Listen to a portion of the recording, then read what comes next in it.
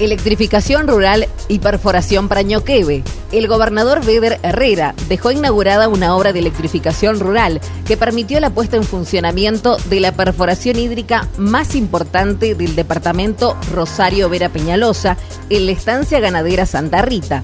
Muy contenta de recibir la visita de nuestro gobernador y bueno, inaugurando esta importante obra que para nosotros es... Eh, mirar hacia el futuro, ¿no? Lo más importante es que esta gente hizo estudios geoeléctricos y determinó que acá había agua en el subsuelo, cosa que no sucede en muchos lugares de los llanos. Me decía el intendente que es el pozo de mayor producción, saca cerca de 40 mil litros de un agua hermosa.